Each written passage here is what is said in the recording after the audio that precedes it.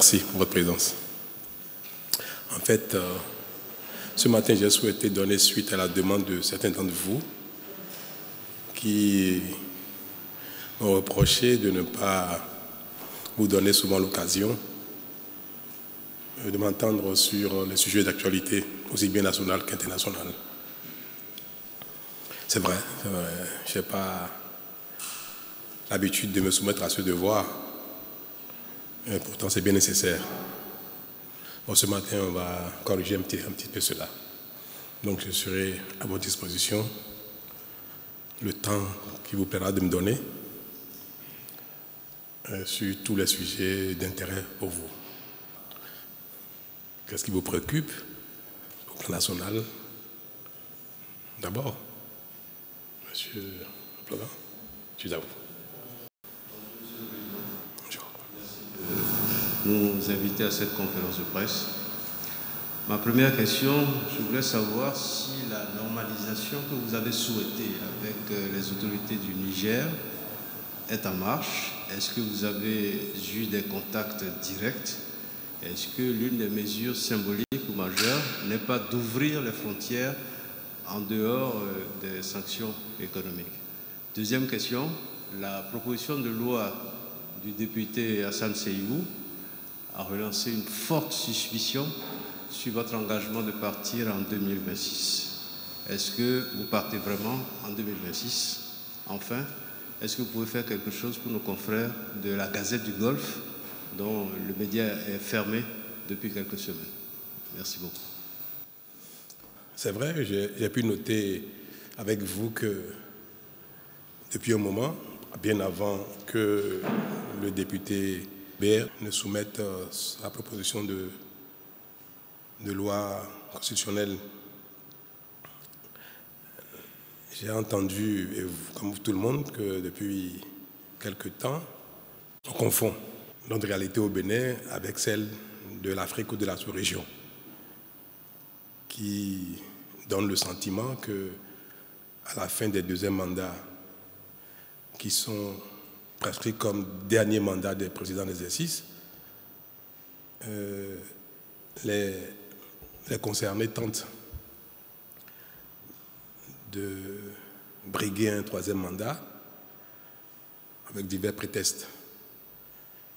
Et cela a tellement traumatisé les peuples africains que désormais on soupçonne tout le monde à la fin du deuxième mandat de chercher les voies et moyens pour contourner les dispositions constitutionnelles que pourtant tout le monde accepte.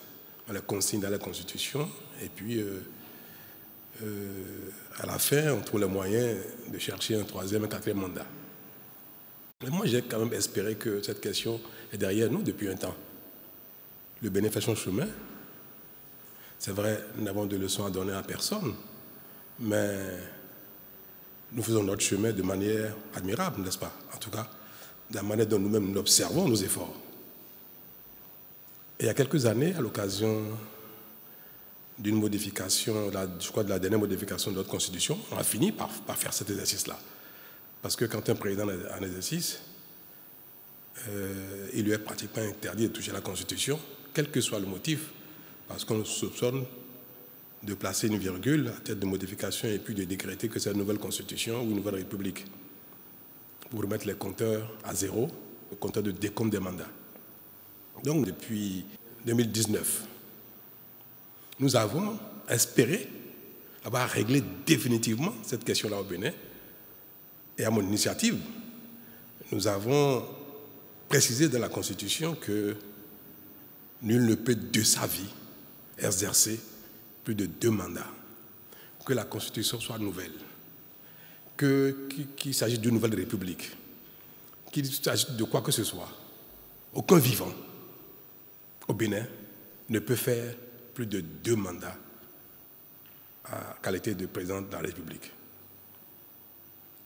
Et nous avons tous pensé qu'une fois que cela est inscrit dans notre Constitution, ou bien toutes les fois que cette phrase reviendra dans n'importe quelle constitution, qu'elle soit nouvelle, qu'elle soit modifiée ou non, toutes les fois que cette phrase figurera dans la Constitution, il n'y aura plus aucune raison de soupçonner un président en exercice de vouloir faire un, troisième mandat. C'était passé pour être acquis. Puis, euh, la fin s'annonçant, on revient encore sur cette question, comme si cet acquis, cette phrase qui est dans la Constitution, comme si euh, soit on s'apprête à, l'évacuer, à, le sortir de la Constitution, soit, même si elle demeure dans la Constitution, elle n'est plus suffisante pour euh, nous apaiser sur cette question-là. C'est malheureux.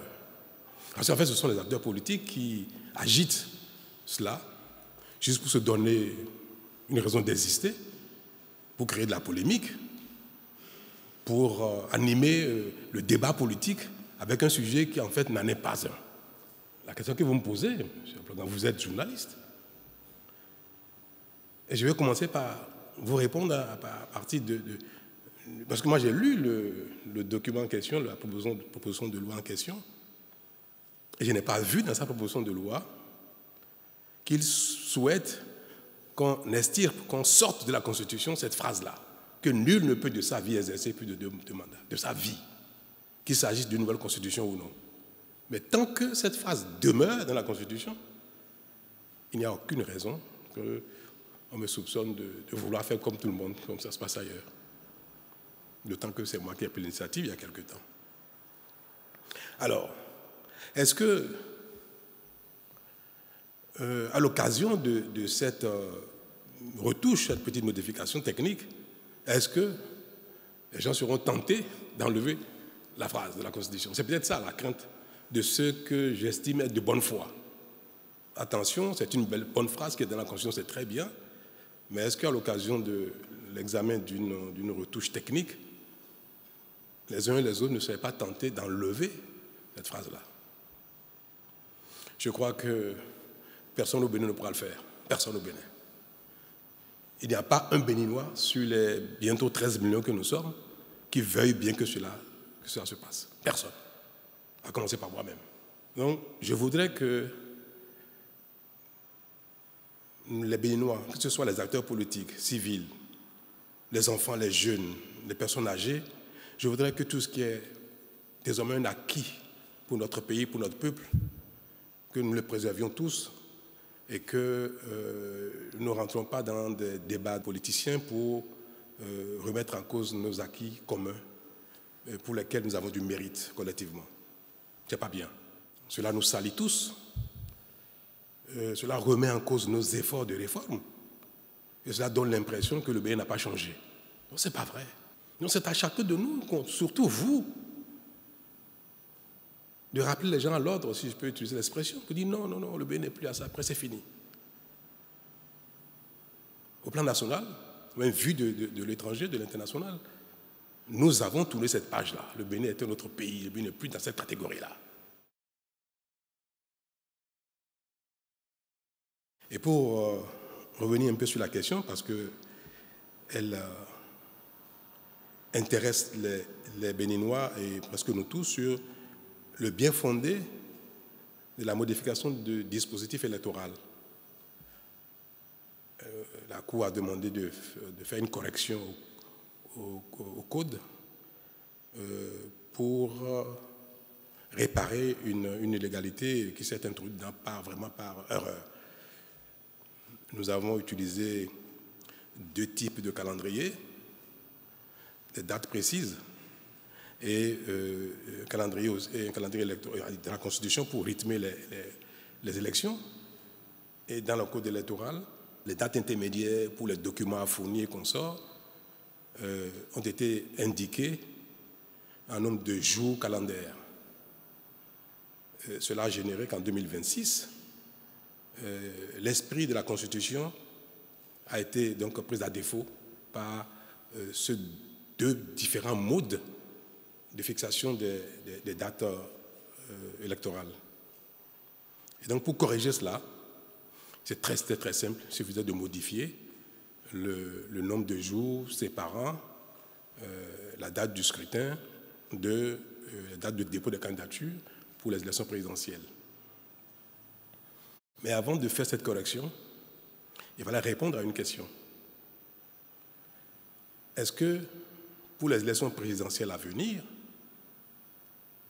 ce sont les députés et les maires actuels qui doivent délivrer les parrainages, ou plutôt les députés et les maires qui seront élus à la prochaine élection générale, qui vont parrainer les candidats à l'élection donc à venir. D'autant que les élections législatives et communales auront lieu en 2026, avant l'élection présidentielle. Je crois que l'élection législative, l'élection générale auront lieu le 11 janvier 2026. Le 11 janvier 2026. L'élection présidentielle aura lieu, le premier tour, le 12 avril 2026. Et les candidats à l'élection présidentielle devront déposer leur dossier au plus tard, je crois, le 5 février. Je vais me répéter. Élection présidentielle le 12 avril 2026, dépôt des candidatures le 5 février 2026. Or, deux mois avant, ou un mois avant, en janvier, le 11 janvier, il y aurait déjà eu l'élection au Bénin pour élire les nouveaux maires, les nouveaux conseillers communaux, les nouveaux députés. Alors, la compréhension normale, qui était derrière l'esprit de la Constitution est, modifiée, c'est que ce sont les députés, les conseillers communaux, les maires qui seront élus en janvier. C'est eux qui devront parrainer les nouveaux candidats aux élections présidentielles. Puisqu'ils sont élus déjà un mois avant, ils vont délivrer les parrainages juste dans la foulée aux candidats pour les élections d'avril 2026. Mais comme je viens de vous dire, euh, en utilisant deux types de calendriers différents, il y a eu un chevauchement sur quelques jours, deux, trois, quatre, cinq jours, je crois, chevauchement. Que, un chevauchement qui n'a pas été perçu en 2019 et que des citoyens ont perçu, ont saisi la Cour constitutionnelle qui a dit, c'est vrai, c'est pertinent, il y a 4-5 jours qui posent un problème.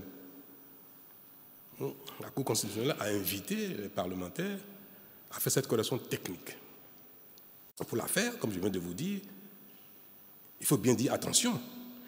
Est-ce qu'il faut faire la correction de sorte à ce que ce ne soit plus les nouveaux députés, les maires qui seront élus, qui parrainent, tel que c'était prévu, ou bien que ce soit les anciens qui ont été en mandat législatif ou communal jusqu'en janvier, que ce soit eux qui euh, euh, parrainent. Théoriquement, la question ne se pose pas. Vous savez tous très bien qu'en politique, ce qui est évident pour le peuple n'est pas euh, acquis pour les, les acteurs politiques. Et moi, je sais très bien que ce soit parmi les élus partisans qui sont de ma majorité actuelle, ou que ce soit les élus de l'opposition, je sais très bien, ça m'est revenu, que euh, les acteurs politiques souhaitent presque tous que ce soit ceux qui sont en exercice qui parrainent. En matière politique, il ne faut pas que ça, étonne. Vous savez que les acteurs politiques ont une mission d'intérêt national, mais ils ont une, des ambitions individuelles. L'ambition politique est personnelle, même si c'est pour servir une cause nationale. Donc, petit défaut technique remet en cause euh, le consensus qu'il y avait en 2019. Et aujourd'hui, il faut répondre à la question pour pouvoir faire la correction. Parce que si les députés au Parlement ne corrigent pas dans le sens attendu, c'est-à-dire corriger ce que la Cour a demandé, mais préserver le fait que ce sera les nouveaux députés élus en janvier 2026 et les nouveaux maires qui seront élus en janvier 2026, ce sera ceux-là seulement qui devraient parrainer les candidats d'avril 2026. S'ils font la correction ainsi, c'est parfait. Mais comme il semble bien que dans leur euh, ensemble, presque tous, sauf quelques-uns, ils souhaitent corriger, parce que la correction est possible dans les deux sens, ils souhaitent corriger de sorte que ce soit eux qui parrainent. Même si en, avril, en février, en avril, leur mandat aurait pris fin et que ceux qui seraient candidats à leur propre élection, certains seraient réélus et d'autres ne le seraient plus. Il n'y a aucun pays au monde, vous au Bénin, on ne peut pas espérer penser que tous les députés actuels seront réélus en janvier 2026. Ou que tous les maires, les conseillers comme les maires d'aujourd'hui seront réélus en 2026. Mais ce qu'ils veulent faire, ils veulent faire en sorte que, après l'élection 2026, de janvier, les concernant, même ceux qui auraient déjà perdu leur mandat politique, ceux pour qui on n'aurait pas voté, que ceux-là parrainent encore le candidat, les candidats aux élections présidentielles de deux mois après. Et j'ai dit, si on fait ça, ce n'est pas bien. Ce serait contraire à l'esprit de la Constitution, ce serait même contraire à la volonté du peuple qui a retiré son mandat politique à un député ou à un maire et qui donc ne peut pas entendre le voir continuer d'être dans le processus pour parrainer les candidats à l'élection présidentielle. J'ai dit aux députés, que ce soit du Bloc républicain, de l'Union progressiste ou des démocrates, quand je les ai reçus, dans un débat technique, je leur ai dit attention. Vous devez corriger de sorte à ce que ce soit les nouveaux élus qui parrainent. Mais si vous voulez faire autrement, que vous, vous qui êtes en exercice, vous souhaitez parrainer, alors là, il faut modifier l'ordre des élections. Si l'élection présidentielle a lieu après l'élection législative, vous ne pouvez pas le faire. Mais moi, je suis partant. Euh, et c'est vous que la Cour a prié de modifier techniquement l'erreur matérielle. Je vous en prie, si vous voulez parrainer, vous, moi, ça ne me gêne pas. Je ne veux pas aller contre. Parce que je sais qu'en politique, euh, à un moment donné, les intérêts des acteurs comptent. Mais en ce moment, il faudrait alors que l'élection présidentielle ait lieu avant l'élection législative et communale. En effet, si l'élection présidentielle a lieu avant, au moment où il serait en train de parrainer, il n'aurait pas encore été jugé par euh, le peuple, il n'aurait pas encore subi le choix du peuple, il n'y aura pas encore eu l'élection législative. Ils auront la légalité, la légitimité politique pour parrainer les candidats. Élection présidentielle ayant lieu, ayant euh, lieu un mois, c'est-à-dire en janvier ou en décembre ou en novembre ou même avant. Ils ont, leur plein mandat, l'élection n'a pas encore eu lieu, ils conservent la légitimité politique que le peuple leur a donnée. Ils peuvent en ce moment parrainer légitimement. Vous avez le choix. Moi, j'ai dit, si vous voulez que je parte même deux, trois mois plus tôt, ça ne me gêne pas. Si vous modifiez le rythme électoral et que l'élection présidentielle a lieu avant la vôtre, je vais promulguer. Je ne vais pas m'opposer à ça. Parce que fini mon mandat un mois, deux mois ou trois mois avant, ce que je n'ai pas fait en, dix ans, ce n'est pas en trois mois que je vais le faire. Donc moi, j'ai dit, ça ne me gêne pas. Si vous le faites, je vais promulguer. Et en ce moment, vous pourrez légitimement. Euh, mais si vous ne le faites pas qu'on laisse le calendrier actuel, ce n'est pas à vous de parrainer les, présidents, les candidats à venir. Ce sera les nouveaux députés et les nouveaux maires. C'est tout. Moi, j'ai entendu euh, partout sur les médias, dans les réseaux sociaux, que je les ai réunis euh, pour suggérer une modification de la Constitution. Et que cette suggestion-là est à craindre si elle, elle, les gens me suivent, que on toucherait à la, Constitution en faisant cette, cette modification du rythme d'une certaine version de calendrier électoral, et que, à l'occasion, la phrase qui nous protège, nous tous, de cette hantise-là, que cette phrase, même si elle demeure, c'est bizarre, Talon est trop intelligent, il va trouver les moyens de faire quelque chose, c'est un malin, euh, comme ça, ou bien alors, à l'occasion, il va trouver les moyens d'enlever cette phrase. J'ai dit aux démocrates que j'ai, à qui j'ai dit, mais écoutez, pour modifier la Constitution, pour enlever cette phrase, il faut que vous votiez pour. Vous avez le nombre qu'il faut pour ne permettre aucune modification contraire à votre compréhension de l'intérêt général. Supposons que 100% des, des BR 100% de l'UPR, qu'il veuille modifier, enlever cette phrase. Si vous n'êtes pas d'accord, ça ne se fera pas. Qu'est-ce que vous avez à craindre? Soyez conséquents. D'ailleurs, moi, je ne veux aucune révision de la Constitution. Le rythme électoral, le calendrier électoral, laissez tel quel. Et c'est ma position aujourd'hui devant vous. Si euh, euh, cette question réveille tous les démons, ben alors là, fais-moi cette page-là. Ne faisons aucune correction. Même s'il y a des fautes de français dans la Constitution, on laisse tel quel. Même s'il y a des erreurs matérielles, laissons tel quel. On le fera en mai-juin 2026, quand je serai parti. Donc ne touchez plus à la Constitution. Rien, ne corrigeons rien du tout.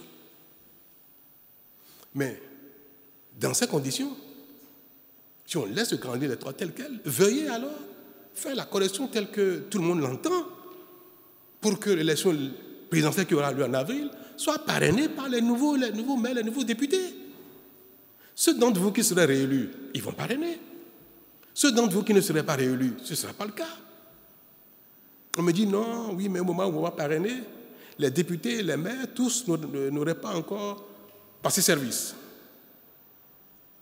Certes, l'élection a eu lieu, certains ne sont plus députés, certains ne sont plus maires, mais tant qu'ils n'ont pas passé service, ils peuvent continuer d'assumer la fonction politique. Je dis, mais c'est vrai, mais ce n'est pas sain, ce n'est pas éthique. Vous, vous êtes député, vous avez perdu votre mandat de député. Le nouveau n'est pas encore installé, c'est vrai, mais désormais, ce nouveau, c'est lui que le peuple a désigné pour aller au Parlement, pour euh, euh, poser les actes politiques au, titre des parlementaires.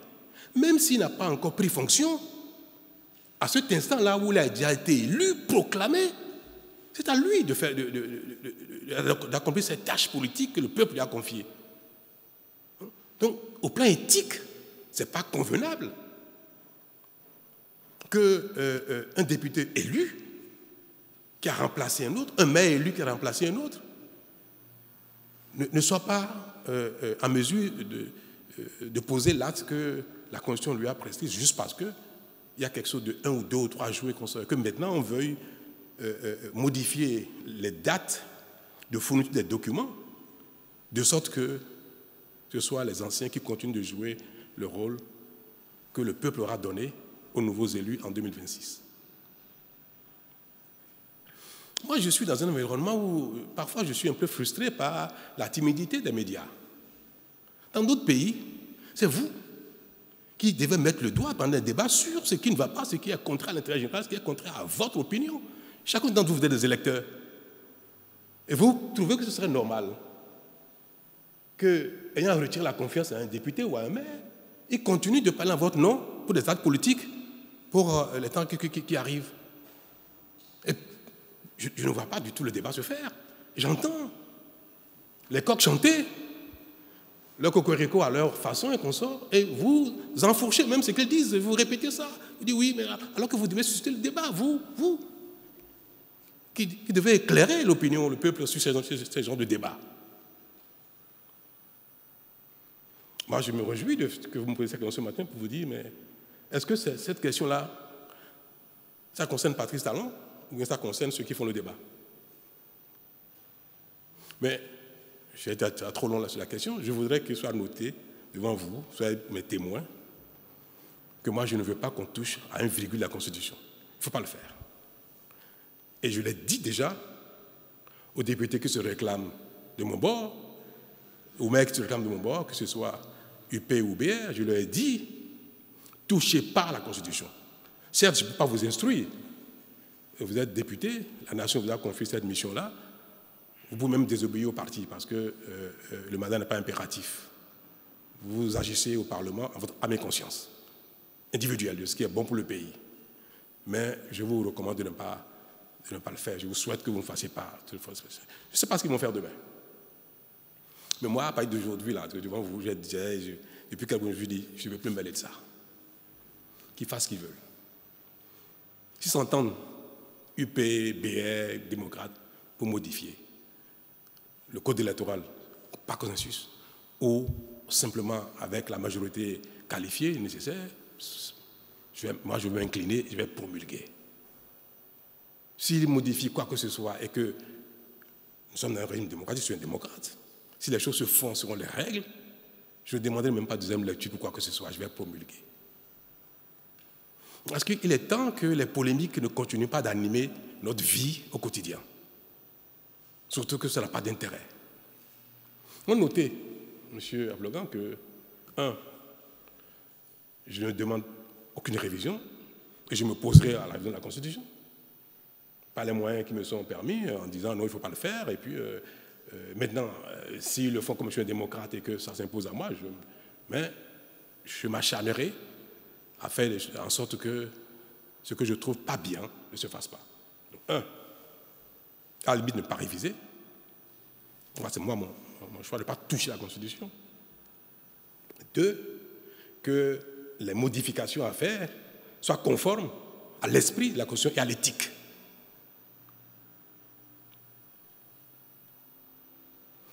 C'est mon souhait.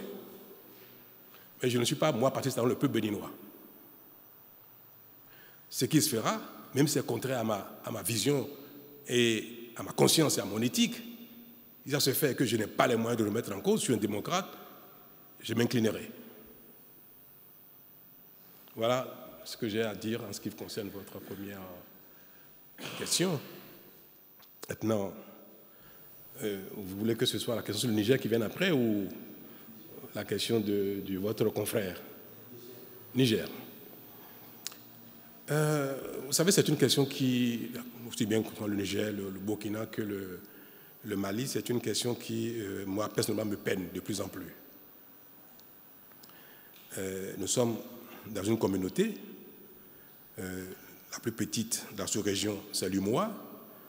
Au-delà, c'est la CEDEAO, puis l'Union africaine. Et puis, nous sommes tous dans les Nations Unies. Et la mission dévolue à ces regroupements de pays, à ces communautés, c'est de veiller à ce qu'il y ait la paix, la, liberté, euh, le développement, la démocratie pour les habitants de cette planète, pour le monde. Et les institutions, les institutions internationales, régionales, se sont données comme mission de veiller au développement matériel, moral, psychologique, physique des gens, mais de veiller également à leur bien-être euh, euh, relatif à la démocratie et aux libertés. Pareil aux Nations Unies, pareil à l'Union africaine, à CEDEAO, à l'UMOA. Donc c'est cette mission que nos diverses institutions ont. Développement, mais dans tous les sens, y compris liberté et démocratie. Et euh, par période, les communautés conviennent de ce qui est acceptable en termes de démocratie, en termes de, modèle politique ou en termes de liberté, des droits de l'homme. Il a été dit dans toutes les institutions, notamment dans ceux d'Aou et que le mode de changement de régime politique d'acteurs politiques, ce n'est pas le peuple, c'est le peuple qui choisit.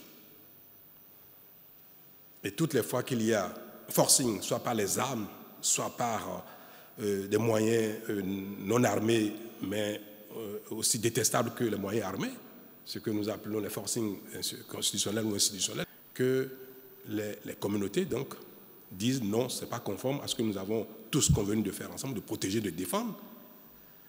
Et on appelle les gens à l'ordre et à besoin, on met des sanctions pour les contraindre à ne pas persister. C'est ce qui s'est passé au Mali, au Burkina, euh, Guinée, au Niger. Il y a eu des coups d'État. Dans chacun de ces pays, le coup d'État est interdit. À plus de raison, au niveau de la communauté internationale. Dans chacun de ces quatre pays, le coup d'État est interdit. Mieux, vous avez dû voir que les autorités maliennes actuelles, qui sont arrivées par un coup d'État, ont mis en place une nouvelle constitution. Et cette nouvelle constitution prescrit aussi que le coup d'État est interdit. Et que d'ailleurs, eh, les actes du genre sont imprescriptibles. Que même 50 ans, 100 ans après, on peut poursuivre quelqu'un qui aura fait un coup d'État. Ça veut dire que même ils savent que ce n'est pas bon, le coup d'État. Mais ce sont des choses qui arrivent dans la vie. Il y a des choses qui ne sont pas convenables, ne sont pas acceptables, mais qui arrivent. Parfois, ça peut être fondé. Parfois, ce n'est pas fondé du tout. Alors, c'est arrivé une fois, deux fois, trois fois, puis une quatrième fois au Niger. Et euh, la CEDEAO qui dit, même si les coups sont arrivés une, deux fois, trois fois, bon, on parle avec les gens, on dit ne faites plus ça, on vous donne un délai pour partir, et puis on essaie de jouer, la CEDEAO essaie de jouer son rôle, notamment la conférence des chefs d'État essaie de jouer son rôle pour montrer que si ça se fait, c'est pas bien, mais il ne faut pas que ça continue. Pour que ça ne devienne pas euh, l'exercice de tout le monde, que ça ne contamine pas les autres pays. Un quatrième coup d'État de la CEDEAO, sinon un cinquième, parce qu'il y en a eu deux fois ou trois fois dans, certains pays. Et euh, nous disons, ah non, non, non, si ça continue, après, ça se passera au Bénin, ça se passera au Togo, ça se passera au Sénégal, en Côte d'Ivoire, partout. Parce qu'on voit que quand ça se fait, personne ne réagit, personne ne désapprouve, alors personne ne, sanctionne. On dit, cette fois-ci, c'est trop. Les sanctions ont été prononcées contre le Niger. Et des sanctions dures, qui en fait ne sont pas destinées à durer dans le temps. C'est des mesures, quand on les prend, on estime que, bon, euh, au bout de quelques jours, euh, quelques semaines, ça va se faire. Ils vont revenir à l'ordre. Une semaine, deux semaines, un mois, deux mois, trois mois passent, ça ne change rien. C'est pour ça que j'ai eu à le dire il n'y a pas longtemps que le moment est arrivé pour faire le point, savoir si les mesures qui ont été prises ont produit leurs effets ou non. Quand ce n'est pas des, mesures qui sont destinées à durer dans le temps, parce que ça pose des préjudices graves aux populations, il faut être réaliste. Et d'ailleurs, le président béninois, le président euh, togolais, euh, nigérien et consorts, ils ne vivent pas au Niger ni au Burkina. Donc parfois aussi, être humble. Nous ne savons pas quelles sont les vraies réalités de ces pays-là. Mais nous sommes dans notre rôle. Mais peut dans son rôle et parfois être acteur de la plaque. Ce qu'on nous demande dans la vie, c'est d'être de bonne foi. Et chaque fois que nous prenons une décision, que ce soit guidé par la bonne foi. Est-ce qu'au moment où cette décision a été prise, on était de bonne foi? Est-ce que ce n'était pas normal qu'on prenne cette décision? Si aujourd'hui quelque chose se passe en Côte d'Ivoire ou au Sénégal, ou ce qui se passe, est-ce que si ce n'est pas bien, est-ce qu'il ne faudrait pas que la communauté dénonce que ce n'est pas bien? Si demain quelque chose se passe au Bénin, si demain quelque chose se passe au Togo, ce n'est pas bien que la communauté dise non, ce n'est pas bien? Nous, nous sommes dans notre rôle en disant ce n'est pas bien, il faut corriger, il ne faut pas que ça continue. Mais quand les peuples, la nature, la vie ou, le sort, parfois nous impose quelque chose, il faut être responsable, c'est quand c'est celui qui sait prendre acte, constater que, malgré sa bonne foi, les choses ne se passent pas comme il souhaite, et dit, dit bon, il faut, il faut, tenir compte de ça. Et on a passé ce message au Niger. Au, Niger. Je l'ai fait à titre personnel. Il dit, le moment est arrivé où nous devons dire, bon, maintenant, trêve des, discussions, des relances, des recommandations, des, sanctions et consorts. Dites-nous exactement ce que vous voulez, on va vous accompagner. J'ai dit, moi, personnellement, je suis prêt, au sein de la conférence des chefs d'État, à défendre la position qui est la mienne aujourd'hui en disant le moment est arrivé pour qu'on fasse trêve de tout ça et qu'on repart de zéro et qu'on prenne acte de ce qui se passe. Et si les, les, autorités nigériennes disent ce qu'ils veulent. Parce qu'après tout, personne de la conférence des chefs d'État ne peut dire au nom des Nigériens ce qu'ils veulent. Vous voulez une transition? Vous ne voulez pas une transition? Vous voulez une transition de, six mois ou de quatre ans ou de cinq ans? Mais dites-le. Puisque la responsabilité nous impose de ne pas statuer dans le vide. Pour statuer, il faut quelque chose. Dites-nous ce que vous voulez, on va statuer dessus et puis on va vous accompagner. Parce que le peuple du Niger est en difficulté avec ces sanctions-là depuis. Vous n'avez pas reçu de réponse. Peut-être qu'eux-mêmes, ils sont en train de discuter entre eux, ils n'ont pas encore une idée claire de ce qu'ils vont faire. Mais même quand c'est ainsi, dites-nous, écoutez, dans trois mois, dans six mois, dans un an, on vous dira quel va être le modèle. Aujourd'hui, on ne sait rien, on ne sait pas si vous savez quelque chose de ce qui va se faire au Niger.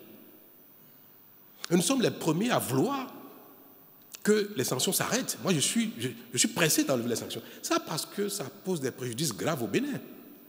Non, et je veux que les Béninois le sachent, ça. Ça cause des préjudices au Bénin, c'est sûr.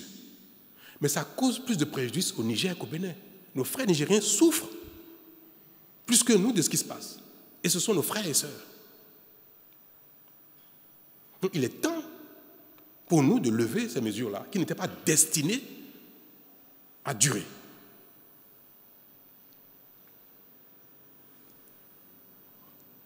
Brutalement, on apprend que les trois pays, Burkina, Niger et Mali, euh, euh, sont sortis de la sorte de la CEDEAO. Moi, cela m'a beaucoup peiné. Et même après cette, euh, cette, cette décision, j'ai personnellement téléphoné à l'un d'entre eux. J'ai parlé au téléphone avec un des trois présidents. À un moment donné, il faut tout dire. Et je lui ai dit, euh, c'est pas bien. Les peuples ne nous ont pas élus pour les diviser. Moi, j'ai été élu au Bénin. Vous, vous êtes en fonction depuis dans votre pays. Et notre rôle, c'est de conduire le destin pendant un temps de la communauté globale, de la CEDEAO, de l'UMOA, pendant un temps. Mais la volonté des peuples, c'est de s'intégrer. Il n'y a pas de conflit entre le peuple du, du Bénin et le peuple du Niger. Il n'y a pas de conflit entre le peuple du Bénin et le peuple du Burkina ni du Mali. Et c'est vrai, il n'y a aucun problème entre les, les, peuples de la communauté et le mois de la CEDEAO. Aucun problème. C'est au niveau des organes de la CEDEAO. La CEDEAO des peuples n'est pas en difficulté. Il n'y a aucun problème dans la CEDEAO des peuples. C'est au niveau de la conférence des chefs d'État, au niveau de la commission de la CEDEAO aussi bien de, de l'UMOA qu'il y a un problème. Parce que ceux-là sont en charge de veiller au respect des règles par notamment les autorités de ces pays-là. La conférence des chefs d'État de l'UMOA, de la CEDEAO, le Conseil des ministres de la CEDEAO de l'UMOA, la commission de la CEDEAO, la commission de l'UMOA sont en charge de veiller au respect des règles, au respect des règles par les autorités de ces pays-là. Et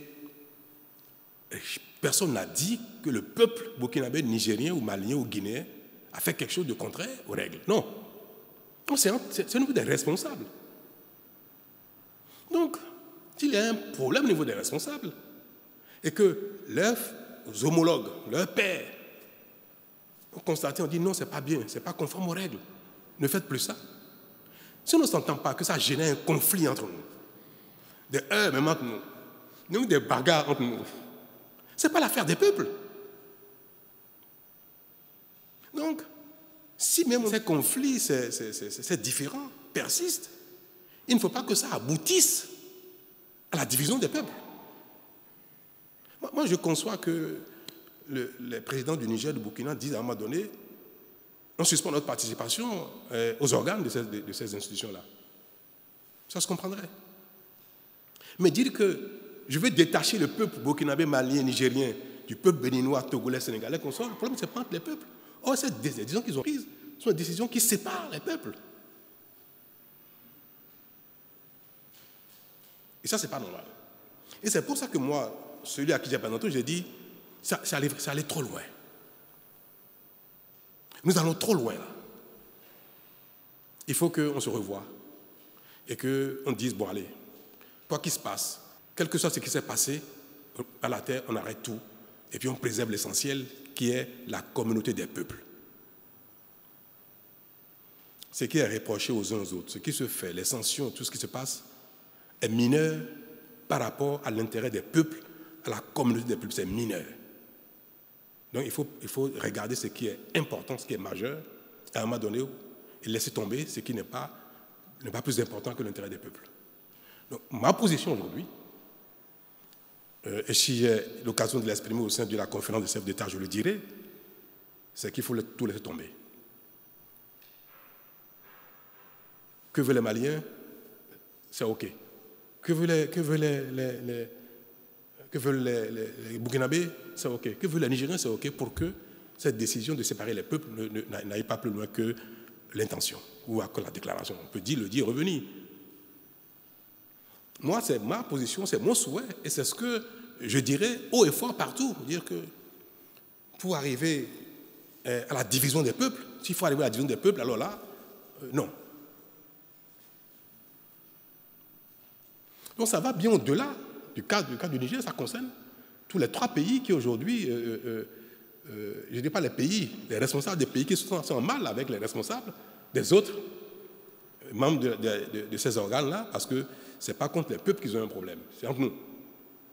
Moi, Patrice Talon, dans mon mandat qui est en cours au Bénin, je voudrais bien que euh, les autorités béninoises m'accompagnent dans cette démarche, que le peuple béninois m'accompagne dans cette démarche pour dire qu'il euh, faut revenir à la case départ et laisser tout tomber pour préserver la CEDEAO des peuples, préserver le des, peuples euh, qui ne sont pas en conflit, au contraire, qui nous demandent qu'à vivre ensemble. Et que, quel que soit ce qui s'est passé, qui a tort ou qui a raison, cela importe peu désormais. C'est ça ma position. Et je voudrais que les autorités nigériennes, burkinabées et, maliennes m'entendent.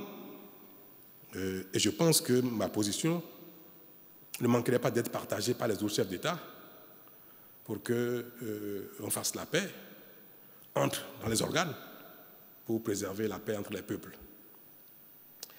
Et je ne peux pas évoquer ça sans parler du, Sénégal. Euh, on observe aujourd'hui que le Sénégal aussi est en difficulté. Et ce qu'on observe au Sénégal qui est regrettable est de nature aujourd'hui à nous interpeller sur le rôle des communautés auxquelles nous appartenons. Est-ce que la CEDEAO, l'UMOA, cette fois-ci doit condamner ou non? Est-ce qu'elle doit condamner ou non? Quand on condamne, on dit il ne faut pas condamner. Quand on sanctionne, on dit il ne faut pas sanctionner. Il faut faire quoi? On va dire oui, mais si vous avez condamné ici, faut devez condamner là. D'accord, on l'a fait.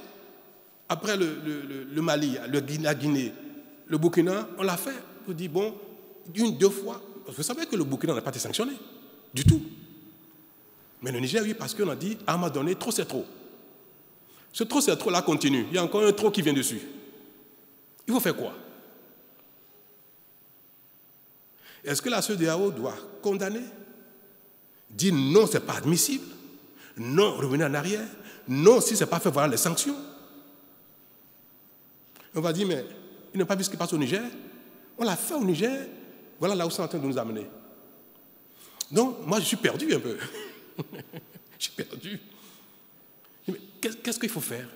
Si on regarde ce qui s'est passé dans les quatre pays et ce que nous avons pris comme décision, ce que ça a donné, qu'est-ce que nous devons faire aujourd'hui si demain quelque chose se passe encore dans un autre pays comme le Bénin?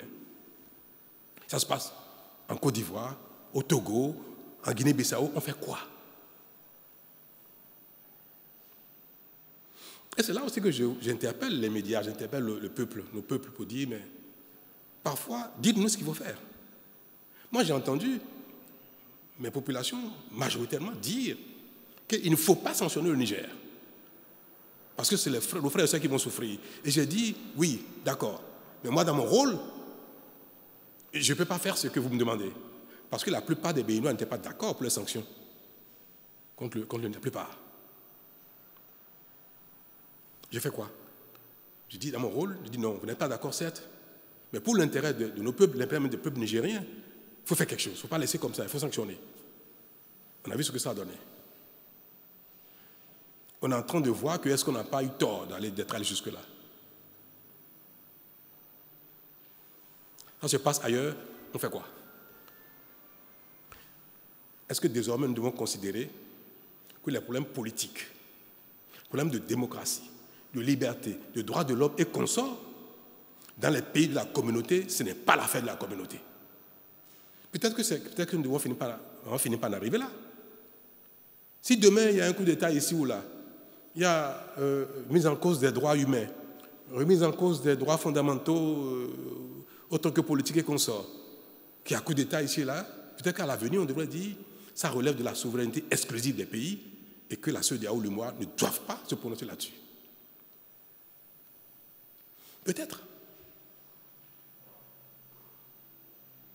Donc moi j'aimerais bien que, si je pouvais faire un référendum, je le ferais, pour demander aux uns aux autres, aux intellectuels, à la masse, aux acteurs politiques, est-ce que le Bénin doit plaider au niveau de ces institutions, au niveau de ces communautés, pour que on enlève de nos missions, on enlève des prérogatives des institutions ce fait d'être le garant de la démocratie, le garant des libertés, le garant des droits fondamentaux. C'est le fait d'être garant qui amène, les, qui amène les positions que nous adoptons et qui cause ces problèmes-là et qui, sont décriés à un moment donné. Est-ce que, je vous pose la question, vous qui êtes dans la masse, qui relayez les opinions des uns des autres, est-ce qu'il ne faudrait pas qu'à l'avenir, aux prochaines réunions de la, de la ce de l'EMOA, on dise, que je dise, que le Bénin dise, il faut enlever de nos missions le fait d'être garant de la démocratie. Le fait que la société doit être garante des libertés et des, droits fondamentaux. Moi, c'est à cela que je voudrais que mon peuple m'éclaire, que la classe politique m'éclaire pour savoir quelle position je dois défendre prochainement dans les réunions. Mais si on dit non, non, non, non, il faut qu'on continue d'être garant, mais être garant, c'est veiller à ce que ça ne se passe pas. Que si ça se passe, il faut sanctionner. Il faut contraindre à revenir à dire être garant.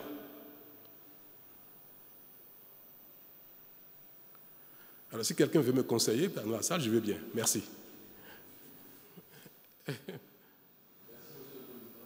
Est-ce qu'aujourd'hui, il y a beaucoup de tumultes dans la sous-région et est-ce qu'il ne faut pas refonder les instances euh, sous-régionales?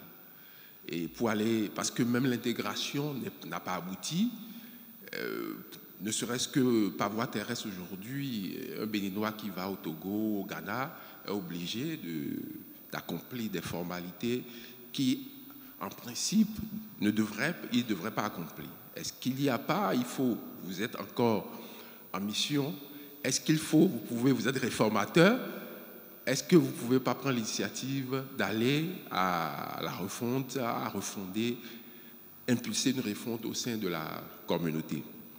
Et puisque j'ai le micro, je voudrais... Je, viens, je vais, vous allez continuer. Une, la question est très importante. Je, je pensais à quelque chose quand vous parliez, je voudrais bien que vous veuillez que je vous donne ma position là-dessus. Nous avons un idéal l'intégration des peuples, sur tous les plans, économique, social, monétaire, tout ça. L'intégration la plus aboutie, euh, après, c'est on, on, saute les frontières, tout ça, et puis euh, libre circulation des personnes et des biens. C'est notre idéal qui a été fixé. Mais au départ, l'ayant fixé, on savait très bien que ça ne se fait pas du jour au lendemain. On le savait très bien. Quand la CEDEAO a été créée, personne n'avait l'illusion que dès la signature, dès la ratification par les pays, que le lendemain, l'intégration allait atteindre sa forme euh, maximum. On le savait très bien. Le temps est passé. 20 ans, 30 ans, 40 ans euh, derrière nous. Mais là où nous sommes arrivés, ce n'est pas satisfaisant. On n'est pas allé très loin par rapport à ce qu'on aurait pu faire en, tant d'années, en tant de décennies. C'est ça le constat. C'est que le temps qui est passé est long. N'avons pas fait grand-chose. On a fait de petites choses quand même. Le MOA est, la communauté financière économique la plus enviée de toute l'Afrique. La CEDEAO, pas moins. Vous savez que même les pays comme le Maroc ont demandé à intégrer la CEDEAO. Certains sont sortis, sont revenus. Parce que nous faisons de tout petits pas, mais pas de grands pas. On ne peut pas dire que c'est un échec. On va dire qu'on n'a pas fait assez. L'Union européenne a mis du temps pour arriver là où ils sont aujourd'hui. Donc, tout ce qui, même entre deux personnes qui s'aiment, très amoureux, si vous découvrez coup de fou vous mariez le lendemain, ça peut mal se passer. Il y a un temps pour aller dans l'union, pour que l'union soit totale. Je voudrais donc vous dire ça que on ne peut pas dire que c'est un échec, que la volonté d'être en, communauté économique est un échec parce qu'on n'a pas fait de, de, de grands pas. Mais est-ce que pour autant, parce que nous n'avons pas avancer autant qu'on aurait pu, est-ce que pour autant, il faut se retirer? Il faut casser ça. Est-ce que l'idéal ne vaut toujours pas? Pour moi, l'idéal vaut toujours. C'est parce que les responsables que nous sommes aujourd'hui, nous n'avons pas réussi, n'avons pas réformé, que peut-être ceux qui vont nous remplacer ne, ne le feraient pas. Il ne faut pas que les responsables d'aujourd'hui à cause de leur insuffisance de résultats, cassent ce que leurs aînés ont construit, sachant que chacun, chaque génération doit faire son effort pour que l'intégration aboutisse totalement. Donc il n'est pas question de casser ces, il n'est même pas question de remettre en cause l'idéal qui est noble qui, qui se justifie. L'idéal se justifie. C'est parce qu'ils n'ont pas réussi à aller le plus loin possible. Et c'est ce que je disais même à, celui que, j'ai appelé au sein du chef d'État dont je vais parler. Je lui ai dit, nous, nous sommes de passage. Mais les peuples sont éternels. Ce n'est pas parce que les chefs d'État des pays de la CEDEAO d'aujourd'hui ne s'entendent pas sur l'attitude à avoir par rapport à un problème qu'il faut casser l'idéal. Parce que demain, Talon ne sera plus président du Bénin. Tinubu ne sera plus président du Nigeria. Ouattara ne sera plus président de la Côte d'Ivoire. Fort ne sera plus président du Togo. Nous sommes de passage. Les dirigeants sont de passage. Dans quelques années, tout ce monde sera parti. D'autres seront là. Il faut préserver l'unité des peuples le temps que des dirigeants plus éclairés, plus efficaces, viennent continuer l'œuvre qui a été accomplie à peine. Ce que moi, je n'ai pas réussi, je n'ai pas à casser le Bénin parce que je n'ai pas réussi. Je vais, je vais partir, celui qui viendra après va mieux faire que moi pour aller plus loin que, euh, euh, euh, par rapport aux attentes des populations. C'est l'humilité qui, est demandée aux dirigeants que nous sommes, que nos insuccès, nos souffrances, nos frustrations du jour ne remettent pas en cause l'essentiel qui est les intérêts du peuple il faut que nous soyons patients et qu'on fasse confiance aux générations à venir pour faire mieux, pour réparer, pour construire davantage euh, euh, ce qui est de notre mission et que nous n'avons pas réussi à faire. Donc c'est pour dire qu'il y a peut-être lieu de revoir le contenu des prérogatives des organes. Je fais la nuance les prérogatives des organes de ces institutions-là. La conférence des chefs d'État, est-ce qu'elle devrait, à l'avenir, tout en maintenant l'idéal de la CEDEAO, est-ce que la conférence des chefs d'État doit aller jusqu'à sanctionner euh, un régime qui serait arrivé par des moyens non, convenus? Est-ce qu'il faut aller jusqu'à sanctionner? Est-ce que la conférence, le, conseil des ministres de la CEDEAO de l'UMOA doit aller jusqu'à faire telle, telle chose? Donc, nous pouvons voir quels sont les amendements qu'il faut apporter, peut-être pour ces temps-ci, quitte à ce que les générations à venir, peut-être les réintroduisent. Mais il y a lieu à une réflexion, sans aller jusqu'à faire un constat d'échec et dire on laisse tomber, chacun fait son chemin tranquillement, le bénéfice fait son chemin. Non, ce n'est pas bon. Je ne sais pas si je peux enclencher avec une préoccupation nationale oui.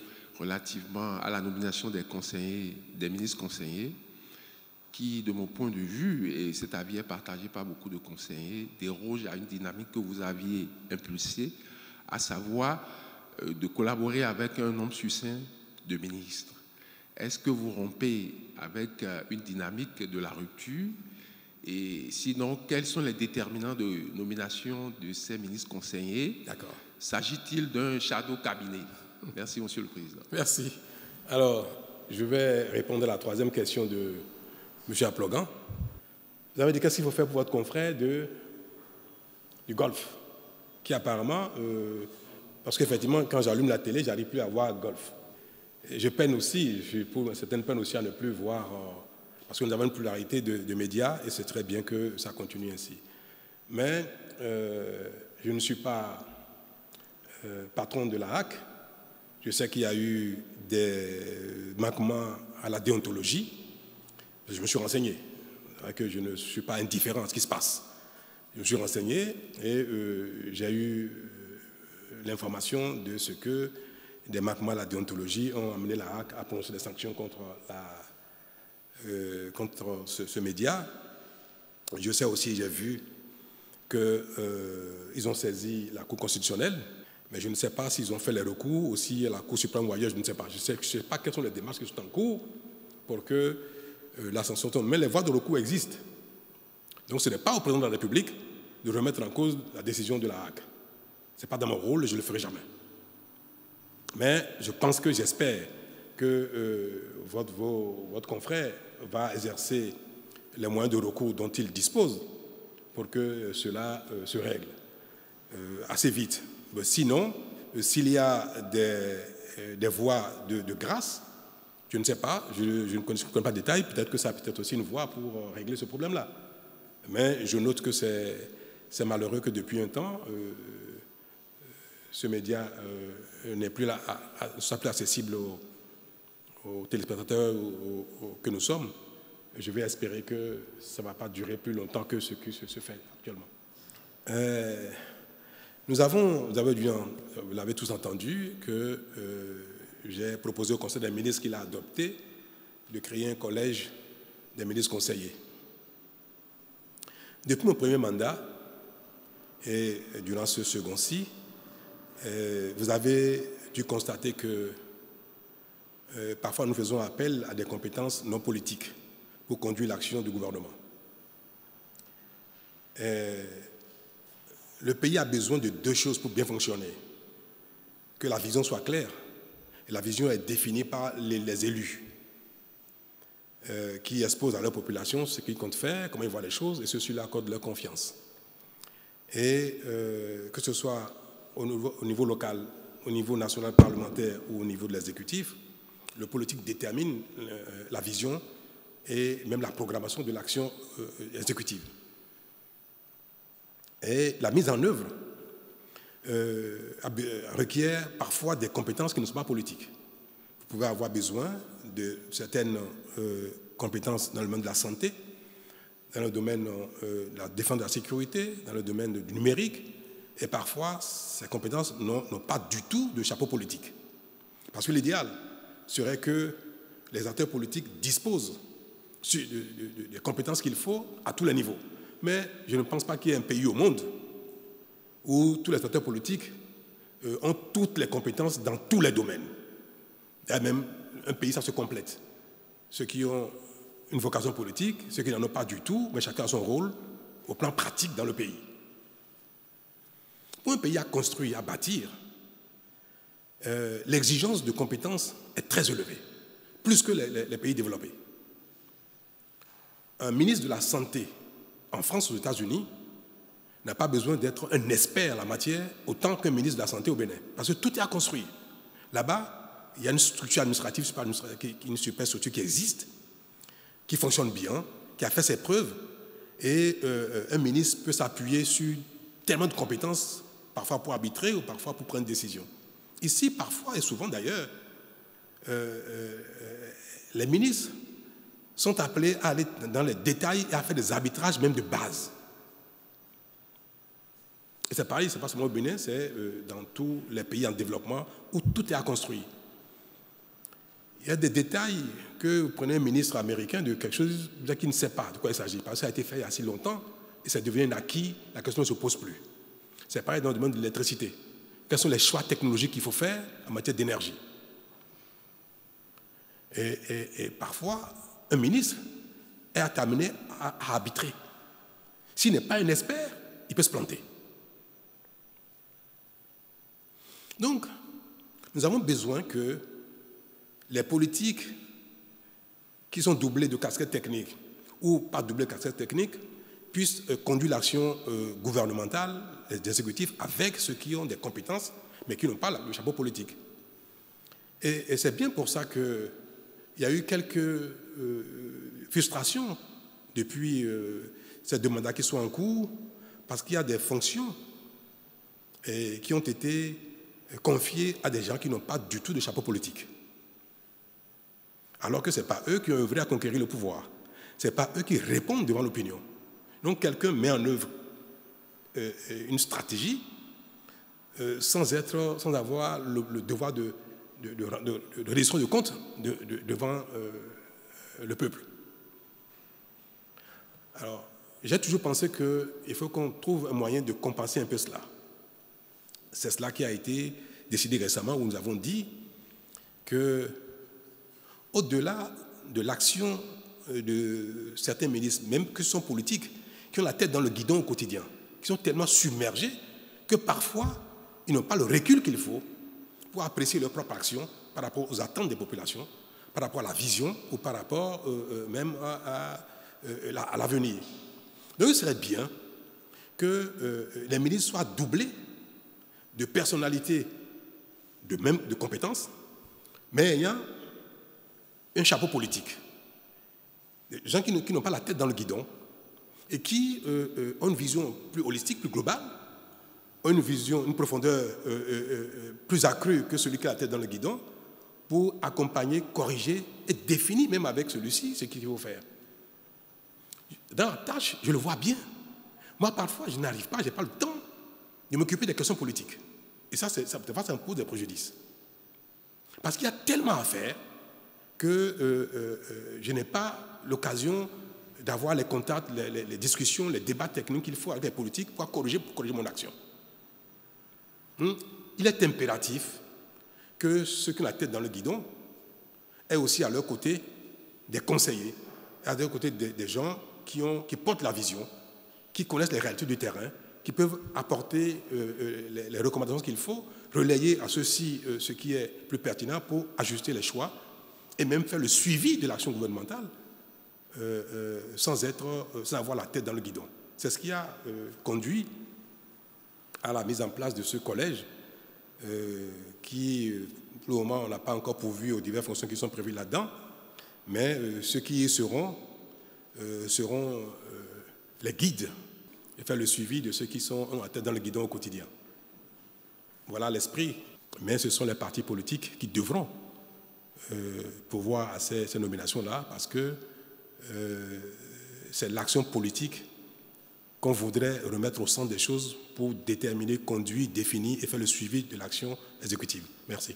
Euh, j'ai deux questions. La première concernant le Niger. Je reviens toujours sur la question de la fermeture de frontières avec le Niger. Vous n'avez pas totalement répondu en ce qui concerne l'ouverture de la frontière. Quand est-ce que vous pensez pouvoir l'ouvrir? Parce qu'au même moment où c'est fermé chez nous, les Nigériens préfèrent maintenant faire passer leurs marchandises par le Togo, puisque le Togo apparemment n'a pas respecté les décisions de la CEDEAO dans ce sens-là ce qui constitue un énorme manque à gagner pour les caisses de l'État. Alors, qu'est-ce que vous comptez faire dans, euh, dans, cette situation, vu que les Nigériens aussi disent, puisque les Togolais les ont aidés, qu'ils n'ont plus envie de passer par le Bénin?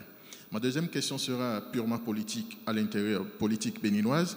Euh, vous avez, au cours d'une interview accordée à nos confrères de la presse de l'ORTB, euh, parlé de votre ami Olivier Bocor quant à sa candidature, les mouvements qui s'observaient sur le terrain. On remarque cette fois-ci qu'il y a euh, des groupes qui se créent pour un autre de vos conseillers, Johannes Dayan, sans oublier aussi le ministre des Finances qui a des ambitions. Est-ce que vous ne serez pas dans la barre de choix pour choisir votre successeur? Comment vous comptez vous y prendre? Merci, Monsieur le Président. Quel conseil vous donneriez, vous, euh, sur euh, le Niger? Vous avez dit tout à l'heure qu'il y a un pays qui n'a pas respecté les recommandations de la CEDEAO et de l'UMOA, n'est-ce pas?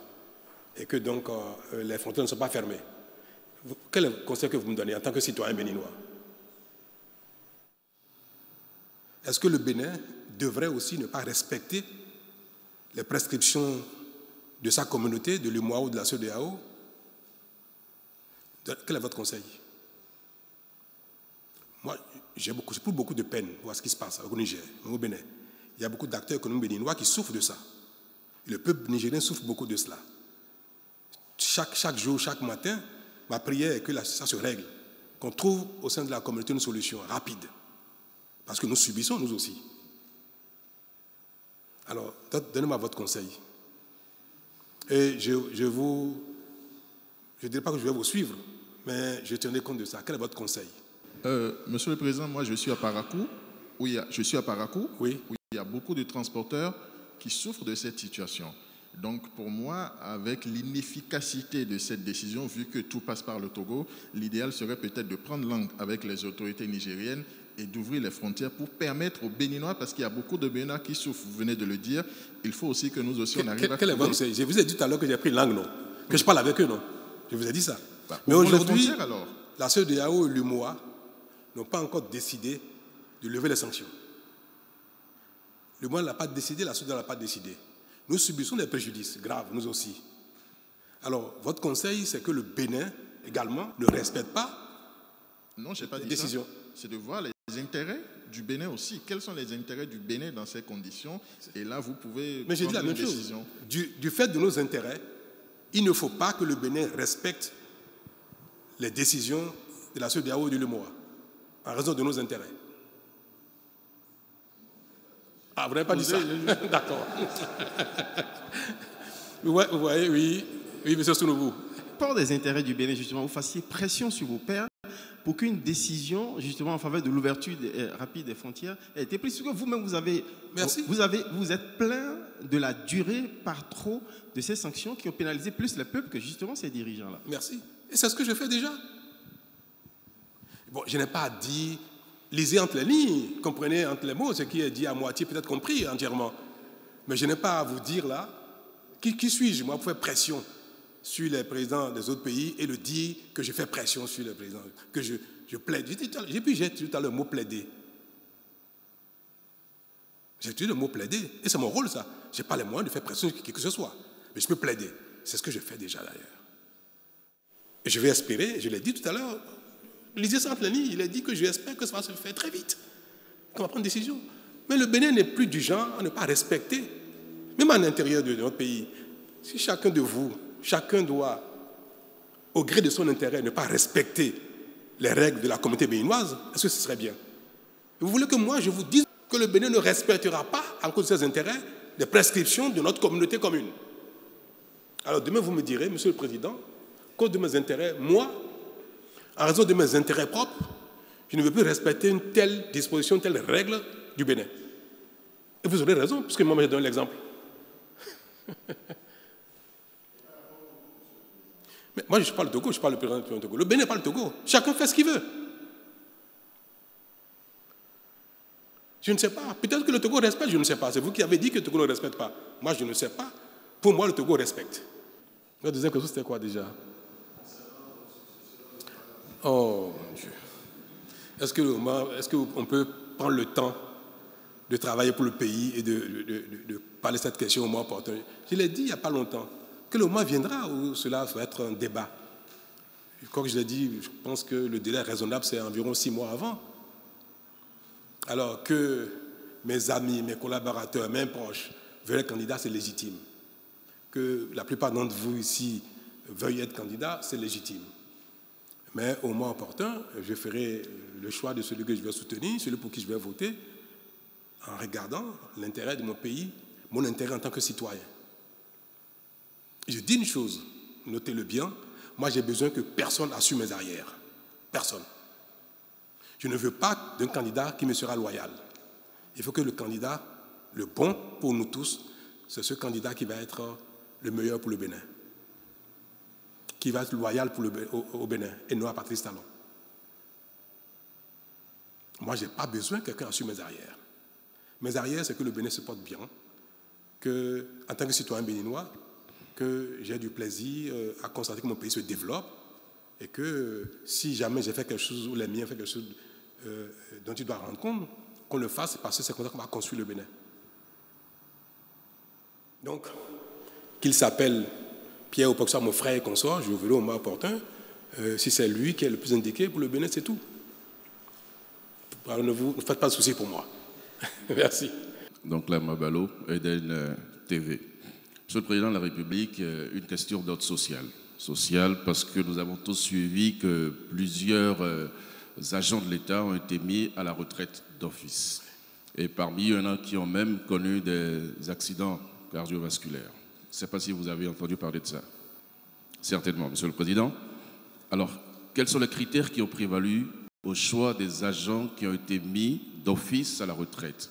Est-ce qu'on a pensé euh, à leur avenir? Est-ce que ce n'est pas une décision qui crée un problème sérieux dans la République? Je vous remercie. En fait, le problème qui se pose, c'est quoi? C'est un problème de revenus, non? Est-ce que ce n'est pas surtout ça? Parce que j'ai entendu, je regarde les médias, je lis beaucoup, euh, tout ce qui se dit j'ai noté que mes concitoyens, beaucoup sur les médias disent, mais comment on peut, quand on va à la retraite, on prend le temps de le préparer? Comment du jour au lendemain, quelqu'un perd son salaire et, devient un pensionnaire de, l'État? C'est-à-dire, le de son salaire, il touche une pension qui n'est jamais égale au salaire. Donc il y a une perte de revenus brutale. C'est bien cela. Mais j'espère au moins que tout le monde comprend que la pension sera payée immédiatement. Mais que malheureusement, la pension n'est jamais égale au salaire qu'on a jusqu'à la veille de son, départ. Donc il y, a, un, différentiel qui constitue une chute de revenus pour celui qui va aller brutalement sans, sans y être préparé. je vais d'abord répondre à la question primordiale, celle qui concerne la chute de revenus, avant de parler de critères dont vous avez parlé. Est-ce que vous avez lu le décret? Quelqu'un a lu ici le décret qui organise les à la retraite d'office? Je crois que c'est sur le site du gouvernement. Nous avons besoin de construire notre pays tous ensemble. Je viendrai sur les critères. Mais c'est bien que quand on évoque les dommages, les préjudices qui naissent d'une situation, qu'on restitue les choses exactement telles qu'elles sont.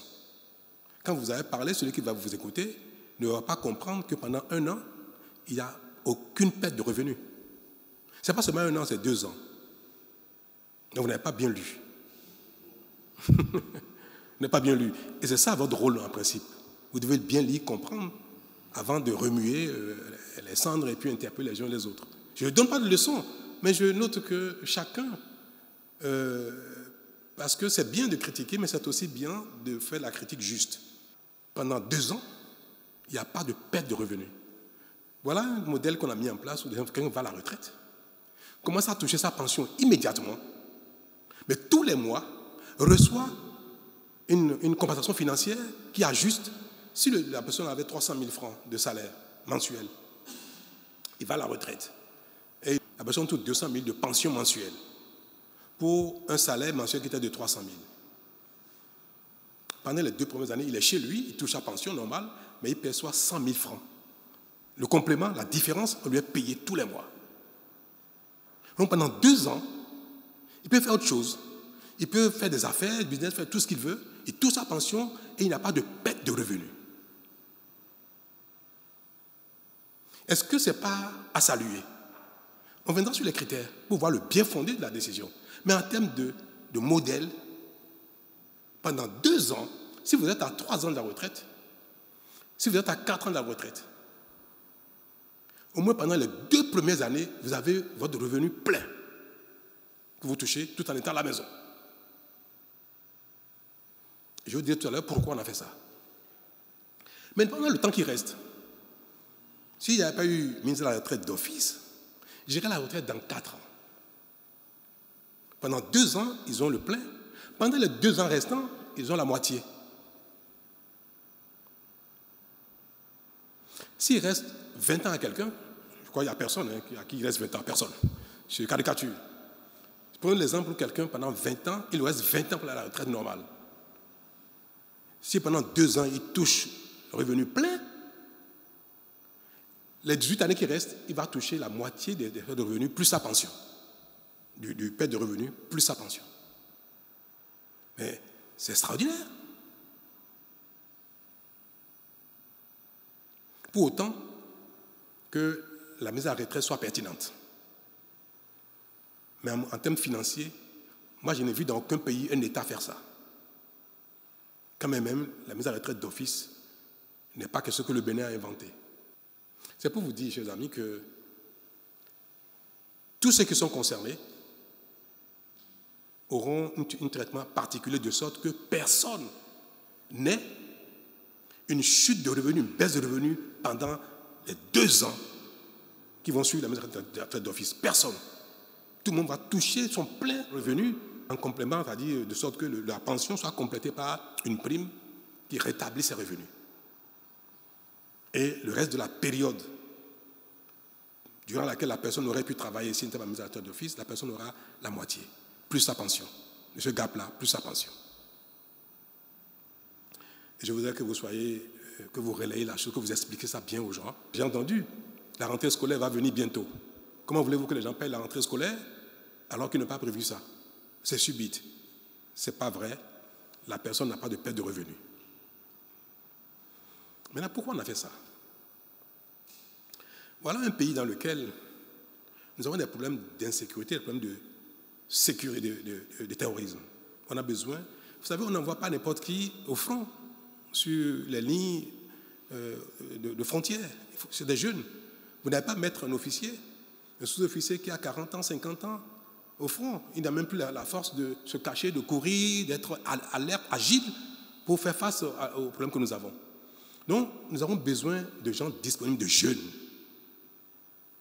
pour constituer notre force, notre réelle force de, sécurité, de défense, avec un niveau de commandement. Les, officiers, les sous-officiers, ceux qui sont d'un certain âge, commandent les jeunes. Donc, il y a ce qu'on appelle la pyramide des forces de sécurité et de défense. Le plus grand nombre, ce sont les jeunes qui sont forts, vaillants, agiles, qui sont encore la force de l'âge pour être dans les quartiers, euh, pour, rester au soleil. Vous ne mettez pas quelqu'un de 50 ou 60 ans au soleil pour réguler la circulation, pour poursuivre un voyou. Hmm. Le plus grand nombre, ce sont les jeunes. Et en fonction de ce nombre-là, on détermine il faut combien pour le commandement. Donc le nombre de, personnel, du personnel de commandement est fonction du nombre de personnes à commander. Si euh, euh, dans une entreprise euh, qui fait le nettoyage ici, il faut des gens agiles, capables de se baisser pour nettoyer le sol, et il faut après des contrôleurs superviseurs, et nous avons 10 agents techniques de sol, et nous avons 20 personnes pour les commander. Est-ce que, est -ce que ça a du sens? Le travail, c'est celui qui est destiné aux jeunes, ceux qui sont, qui dans la force de l'âge. Au Bénin, nous avons une pyramide qu'on appelle pyramide inversée, où il y a plus de commandants, il y a plus de gens euh, euh, euh, au commandement que de personnes à commander. Et nous avons dit qu'il faut inverser la pyramide.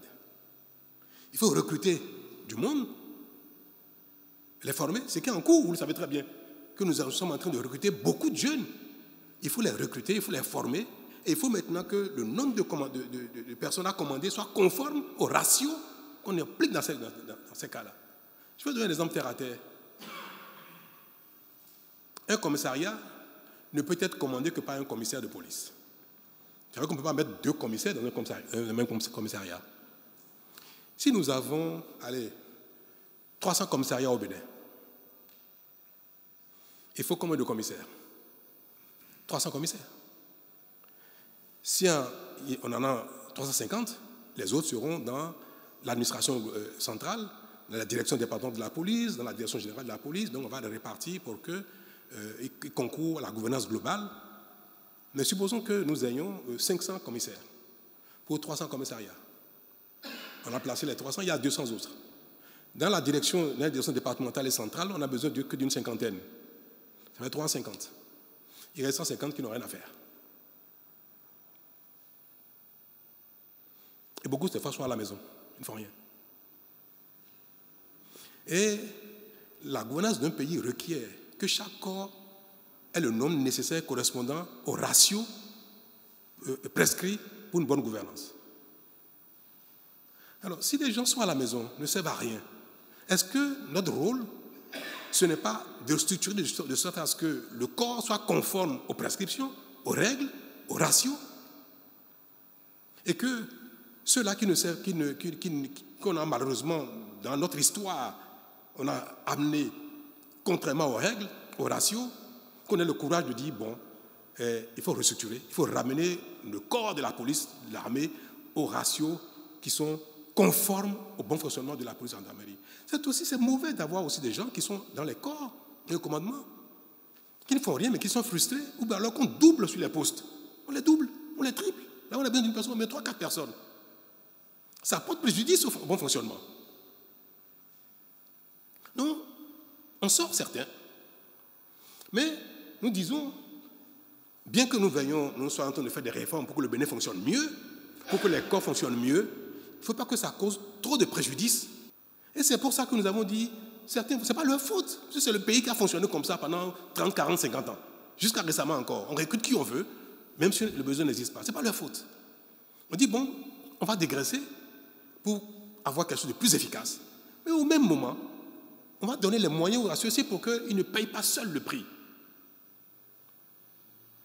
C'est pour ça qu'on a mis en place ces mesures d'accompagnement financières pour qu'ils ne subissent pas de manière trop grave les préjudices de notre faute commune. Donc tous fautés, mais forcément, pour réparer, il y en a qui vont payer. Mais ceux-là nous accompagnent financièrement. Mais ce qui nous permet d'avoir une pyramide normale, d'avoir un commandement normal, fonctionnel, efficace.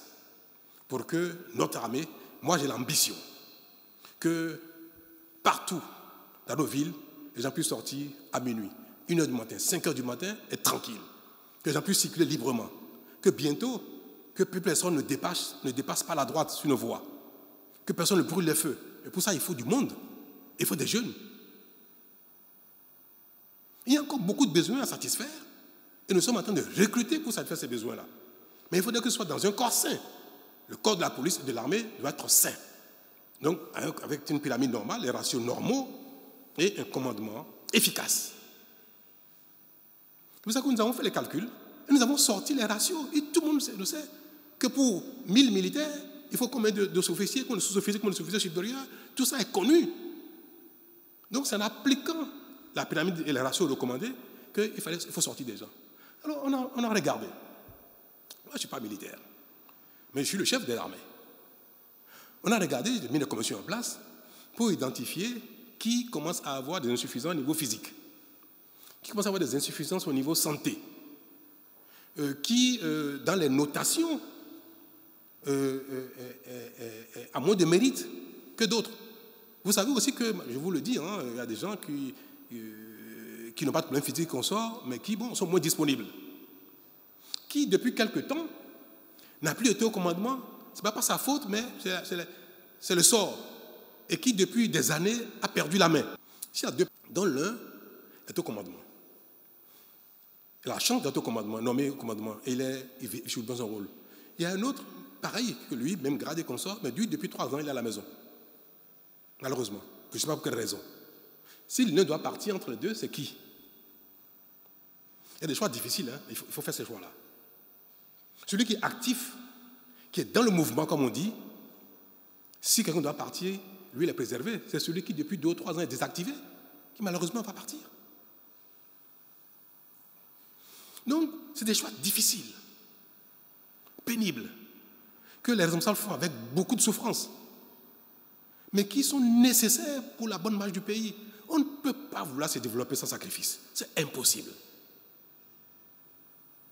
Si on veut tout préserver, nos acquis, nos travers, nos faiblesses, nos souffrances, on veut tout préserver, le Bénin ne se développera jamais. Et nos enfants, nos petits-enfants, nos arrière-petits-enfants vont subir les mêmes sorts que nous. Ce n'est pas avec plaisir, ça fait longtemps qu'il fallait le faire. Ce n'est pas, pas un plaisir pour moi de, dépenser l'argent de l'État pour payer des gens à la maison.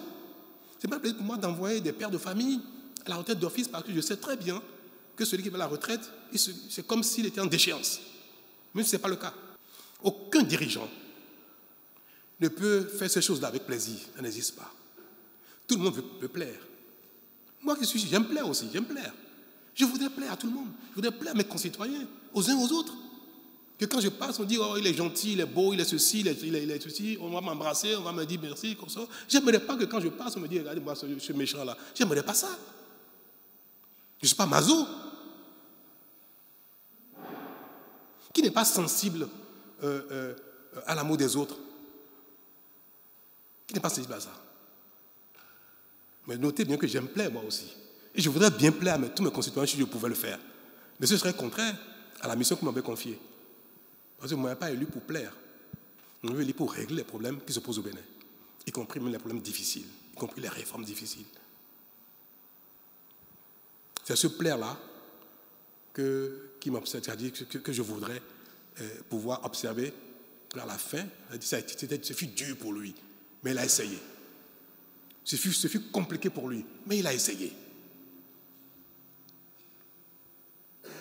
On lui a craché dessus, on l'a insulté, on l'a jeté la pierre, mais à la fin, on va dire quand même chapeau. Donc, je fais un sale boulot. Hein. C'est le sale job, je le fais. Mais je sais que l'histoire reconnaîtra que je l'ai fait pour l'intérêt commun. Merci.